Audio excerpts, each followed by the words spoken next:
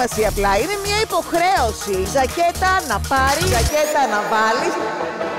Τώρα, φοράς ζακέτα στη ζακέτα; Η ιδέα η δική σου με εγωιτεύει περισσότερο από όλα. Γιατί να κρατήσει αυτό μόνο μια στιγμή, αλήθεια; Αυτό που βλέπω σήμερα δεν μου αρέσει.